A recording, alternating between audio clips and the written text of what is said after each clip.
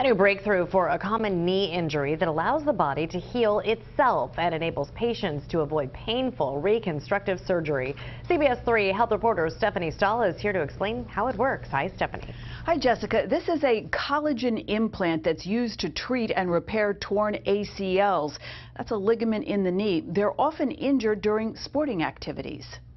I just felt it go. 20-year-old Phoebe Anderson was playing rugby at University of California, San Diego when she tore her ACL, the anterior cruciate ligament. It wasn't painful, but it just felt like it ripped. It's become a common sports injury, especially among young females. There are 400,000 yearly ACL tears in the U.S. that are traditionally repaired with reconstructive surgery using a graft. I was like, I need to get surgery, like immediately. Instead, she found an alternative with a South Jersey doctor. You come all the way across the country for this. His expertise in like sports medicine was like that was a big driving factor for me, especially as like a student athlete. Dr. Sean McMillan with Virtua Orthopedics is using an implant called BEAR to repair torn ACLs. It's a collagen implant that allows for the body to sort of harness its natural healing potential. The implant is placed between the torn ACL and then infused with the patient's own blood.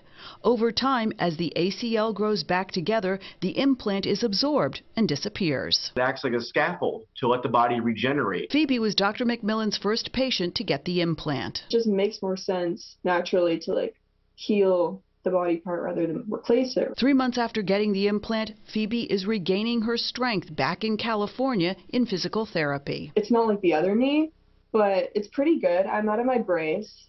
This is my brace. Dr. McMillan says recovery with the implant is less painful and it could also have other, more long term benefits. We hear a lot of athletes lose their careers as arthritis creeps in this may be an alternative to keep that arthritis away. And that implant is the first one FDA approved to be able to treat torn ACLs. Jessica? All right, Stephanie, thank you.